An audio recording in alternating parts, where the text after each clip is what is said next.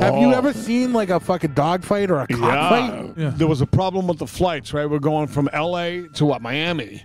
So we ended up on a fucking Greyhound bus. We said, fuck it. Yeah. The bus breaks down in Texas. Okay. we meet these fucking senoritas and they invite us to a cantina. There was cockfighting. And me and him stumbled into a cockfighting Yeah, it's fucking crazy. ring. Craziness. As you get, we were so shit Yeah, faced we just fucking that we did out of our gamble on mind. it. I mean, we're a lot bigger. than A lot of these guys were smaller. Yeah. So know, did you walk out in the plus? Yeah. Won like what, three hundred bucks? Yeah, yeah. maybe. yeah. It's crazy. We got back on that fucking bus. We were fucking fried. Ah. it was unbelievably fucking debilitating. Fine. Then we went to Miami, and that was a whole nother And story. that was a different scene altogether. I think we bought fucking disco clothes within an hour just to fucking shake that other shit off.